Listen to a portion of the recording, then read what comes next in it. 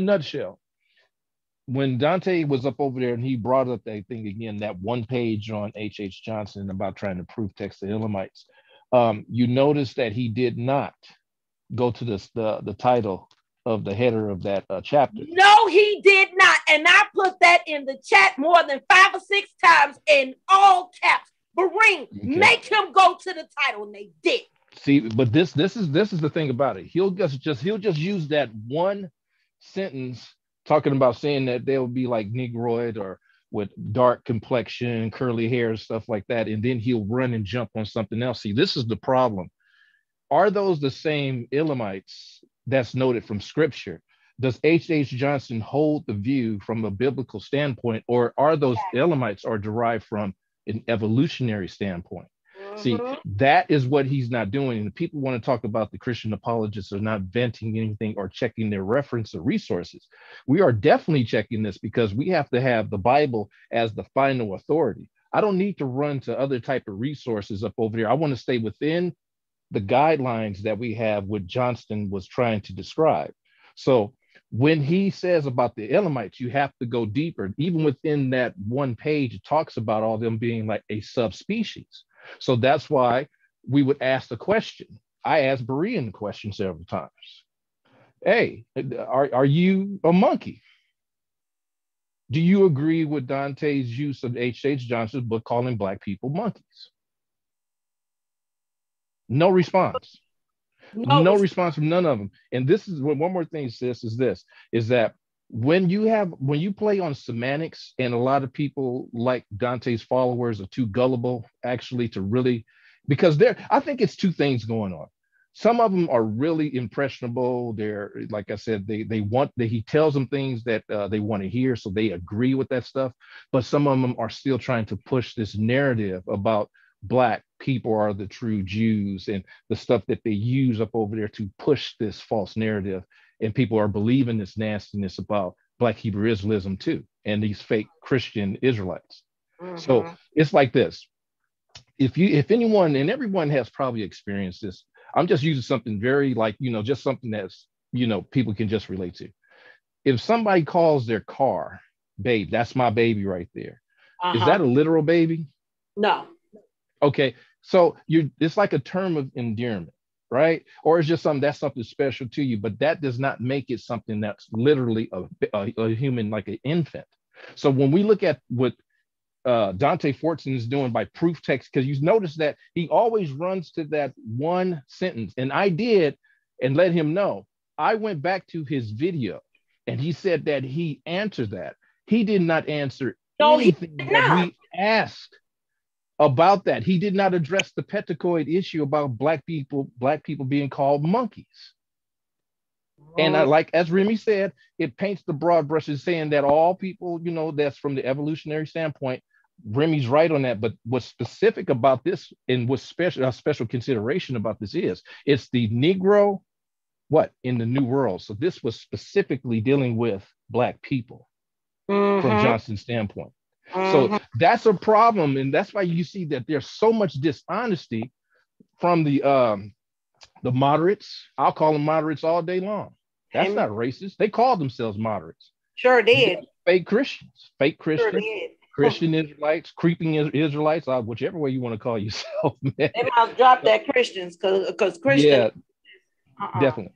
So, but that that's the problem because now when we this is my last point, and then you we'll move we we'll move forward from there the creation account is not attributed to H. H. Johnston's uh, his methodology, his writing, his ideology for that book.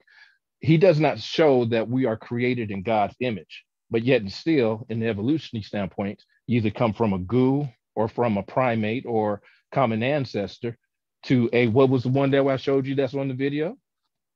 What prototype Australia? Prototype. Mm-hmm. Mm-hmm. And then Africans, Congo, monkey type feet, pithecoid feet, pithecoid characteristics. Ota Benga was listed as the common ancestor, and he was stuck in the human zoos here in the United States.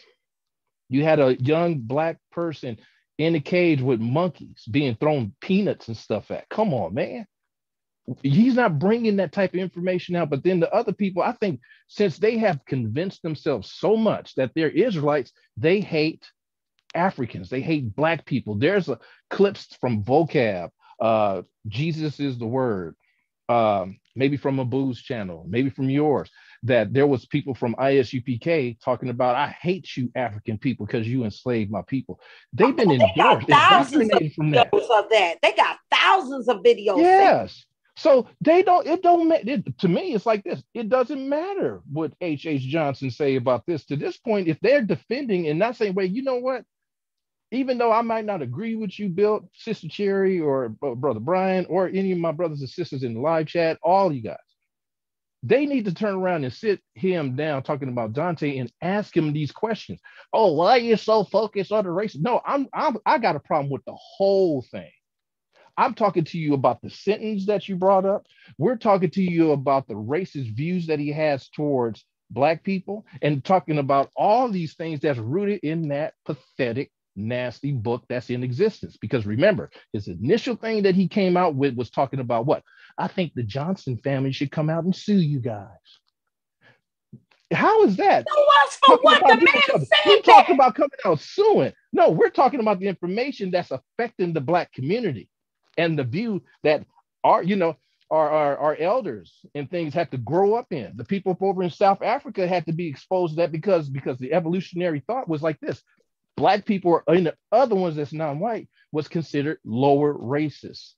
That means they didn't even have the functioning intellect of a human. They called them monkeys or animals from that point. But here's my thing: I found very hypocritical, and I said this some years ago especially you know with the camps just the hebrew israelite movement because you do got some moderates that feel the same way that carry that you know one way ideology whatever however they want to define it uh, that they hate africans or you know they down africans it's funny that you can do that but then you want to use africa in your story you want to use the continent of africa in your story even though the story is garbage, oh, we migrated over to the west point of Africa. But wait a minute, you hate Africans, so what you doing over there migrating? Right, and which we know that that's not simply not true, right? Um, not to mention, um, uh, uh you want to thump on certain things, the Limbas, the Igbos, and all of this other stuff. People in Africa, but then hate Africans. You also, man, that's hypocritical. If that ain't hypocrisy, brother Bill, I don't know what is. I find I'm that still, quite I'm still having a problem with why they don't discuss about Christianity in Ethiopia in the first century. Oh God! Over a thousand plus years before the transatlantic slave trade, there was no whips on nobody's back. There was no chains on them. These people were. Brian even described how it was going on in the kingdom that was a Christian, uh, um, you know, with Christianity in the kingdom up over Marine there. Marine brought it out one time, and guess what? I was looking in the chat. Do you know they was not listening to him? See, that's the problem. See, that's the subjective thing that they want. They're biased to the information. So here it is. If they so stronghold on the what happened to blacks here coming to America through the transatlantic slave trade, talking about, oh, you know, Christianity was forced upon them. But turn the clock back a millennia plus. Mm-hmm. There was no whips on nobody's back. We have the account again, and I bring it up all the time. Everyone should already know it by now. Acts chapter 8, verse 26 through 40 where you Come see on. Christianity coming into what?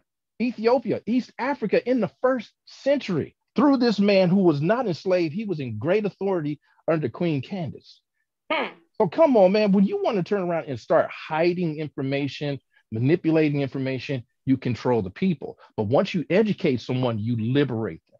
You are liberated from that type of bondage that they want to try to keep you under. So, you know, my prayers for these black Hebrew Israelites, even though I clown them, and I'm I'm saying it right here, right now, you know, but still, they actually need to be woken up to truth. And that's through by the Holy Spirit. Not talking about waking up to your identity. I have searched through scripture and I haven't seen I got to be waking up to my ethnicity. I'm awakened to Christ. That, that's why, and I, and I typed in I'm there done. also. I, I, no, no, no. I also uh, typed in there, brother Bill, if you seen it. I said it's funny that he's saying that Timbo ain't answered this, Timbo ain't answered that, right? And he did answer a lot of stuff. Um, Uh, it's funny, Dante. What about what about what about Fortson, right? like Brian Carl, that both of y'all came up with, or you came up with. I don't know who came up with it, but it's funny. Listen, this is what I'm saying.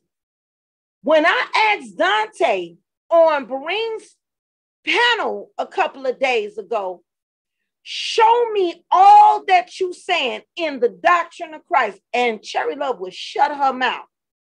What did he do? What did he do? He ran to something else. Every time I brought it back to this book that's on the screen, family, he ran from it. You know why he's running from it? I'll tell you why. Yeah, Cherry Love got the answer to that question. Because the Bible don't give that narrative.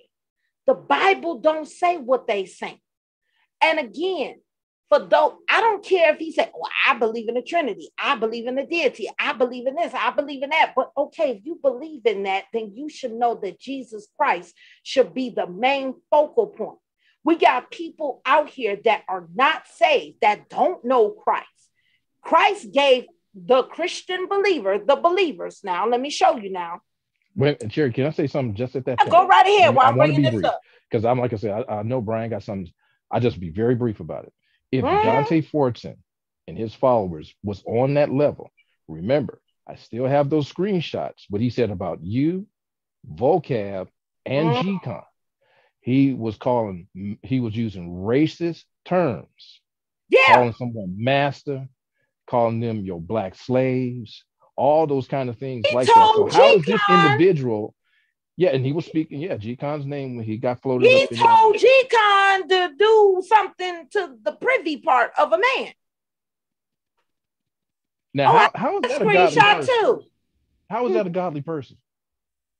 How is that supposed to be an individual? Because remember, one thing that people should always ingrain in their minds when they're on the platform, if they're on the street, they're inside the church, or even in the home, is that too much is given, much is required if you feel that you have enough wisdom, quote unquote, of God, and you think that you can step up and start teaching this stuff and it's not right, guess what? The greater condemnation is going to come upon you because you are causing people to stumble. So go fact check everything we say, what we talk about.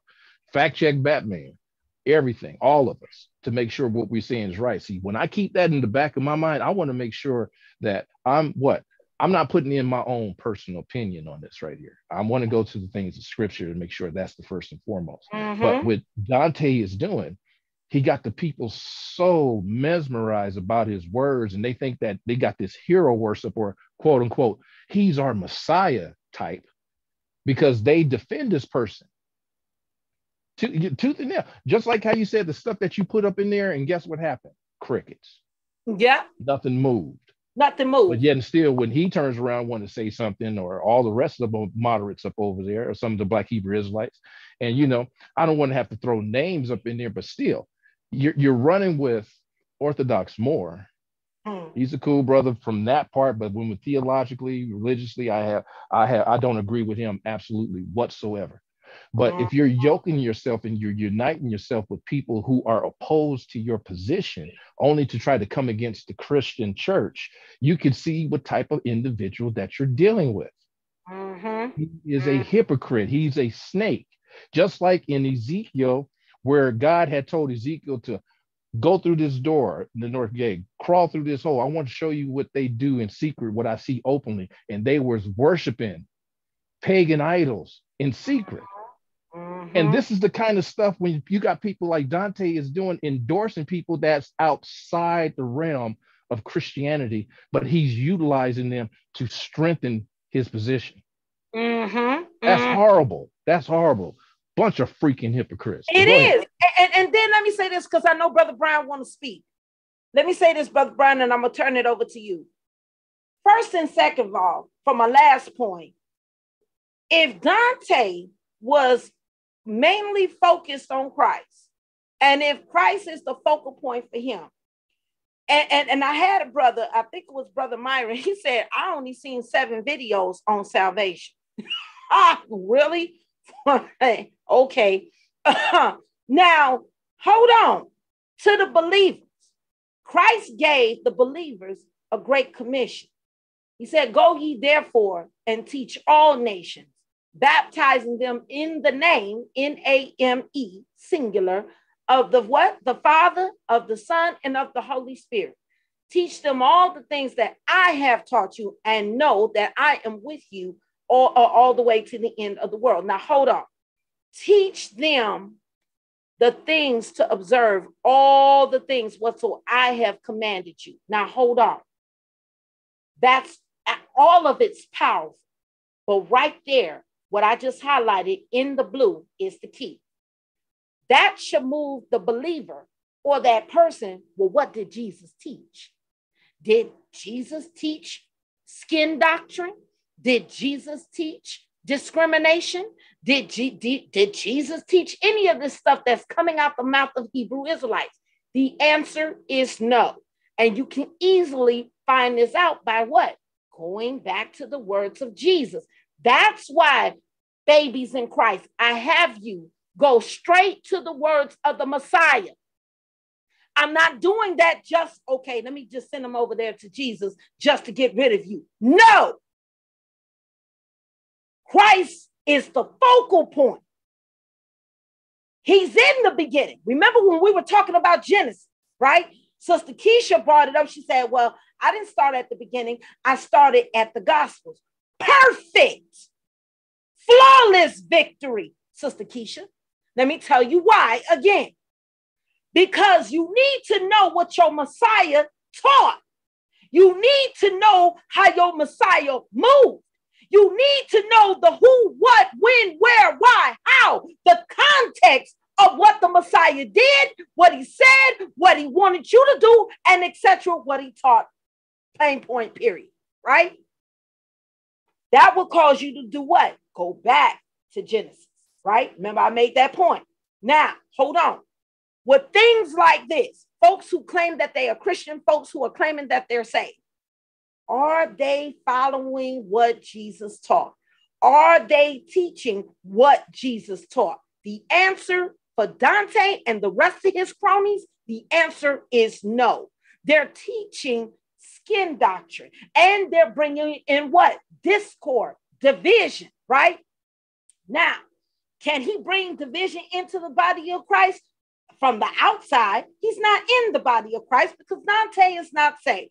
I will say it, I'm not listening. And I'm not saying that because he identifies as a Hebrew Israelite, which that very name is a lie, by the way, because it's not in the biblical text. And the Bible tells us not to go beyond what is written. But based on what? What did Jesus say? Brother Bill, if you can answer this, and I will shut to the up. How did Jesus say you can identify a person that is of God and not of God? Did he give us that? What did Jesus say? I say by the heart. By the heart. And the one that confess that he's correct. You're right. But how did he say? Jesus said you. Down, I'm, it's been a long day. Jesus said you will know them by their oh what? by their fruits. Oh yeah, yeah, yeah. I'm sorry. Yes, being a tree is yeah. You being a, a fruit inspector. Exactly. R N O says, brother Willie, brother Brian, Brother Bill, and to all the Christian brothers and sisters, Sister Lily T, Jesus said, You will know them by their fruits. What does it mean? What does know them by their fruits? They're how they talk, how they walk, their actions, how they live, what they do, even how they teach, and all of that. Them fruits gonna tell you everything, everything, everything that you need to know. Are you dealing with a person that is saved, or are you dealing with a person that's unsaved? Can I read something? Go ahead. Just real quick, Brian. Brian, just just Brian. Let me just do this one right here. This was from a post back in December, I believe. It's I have the uh, date on here, but I think it's December twenty third, twenty nineteen. Mm-hmm. And this is from Dante, and I'm going to read this real quick. It says here. Can you guys hear me? Okay. Yes, sir. You're doing just fine. Okay, you're right here. Now he says, and I know you always have to read the whole thing in its context and stuff like that too, but this is something that's really targeting what he's talking about. Uh-huh. And I don't uh-huh. want to be like accused, oh, he's just, you know, he's just doing proof text. Man, I'll give you the whole thing and, and give it to you so you can send it out so they can see the whole thing. It says here, if you haven't seen my video uh, series yet, Urban Apologists, uh, excuse me, uh, Urban Apologetics Exposed. Check it out. Urban apologetics go after black groups while ignoring white ones, just like Oprah has done with black celebs while ignoring white celebs doing the same thing. It's white supremacy in blackface. When it comes down to it, it seems the UA just hates black people, but specifically any black people that won't accept white Jesus. They are modern day house Negroes teaching under a supervision of massa vocab, vocab. And as you see, as you'll see, as his moderators in the chat, uh, they need masses permission to get rid, uh, get rid on and attack other black people by name. To prove my point, watch the last few live streams. She doesn't attack anyone until Massa Malone shows up. Does that sound like somebody has good fruit or bad fruit? Bad fruit. That's from Dante Fortson. And good fruit for two. Bad fruit for one. A good fruit for two. Put it in the chat, y'all. I, am gonna I, I'm gonna cast my vote. I'm gonna cast my vote right here, right here. One, that bad fruit. To answer your question, brother Bill, that's bad fruit, right? First of all, vocab is my brother. He's not my master. Him and I serve the same master, Jesus Christ. He the only master that I see, along with God the Father and God, uh, God, uh, God the Holy Spirit. Right? God is the only master in this book. Um, from what I can see, that what Dante is pushing is bad fruit. That's why I get up there publicly unashamed, unapologetically say that Dante ain't saved. Saved folk don't have to go through all of this. Saved folk don't have to be pulling DNA. Saved folk ain't got to be pushing no skin doctrine. Jesus Christ is enough.